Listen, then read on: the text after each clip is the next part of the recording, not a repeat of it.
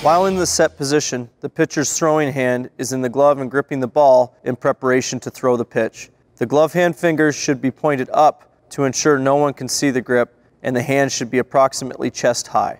The hand should separate at chest height in order to deliver the pitch as quickly as possible to the catcher. The throwing arm should be approximately 90 degrees and the ball should be turned away from the plate. The glove side arm should be bent and both elbows should be approximately chest high. This is sometimes referred to as the T position.